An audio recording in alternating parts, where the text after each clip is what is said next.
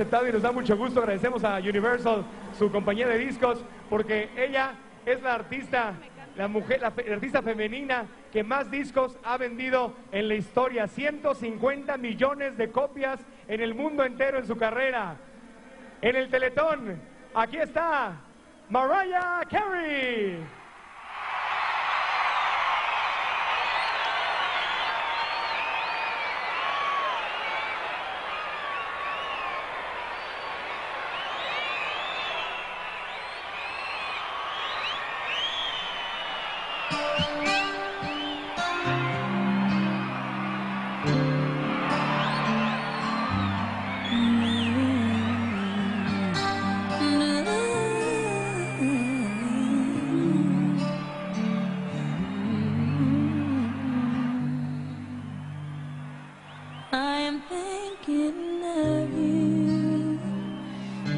sleepless solitude to tonight. If it's wrong.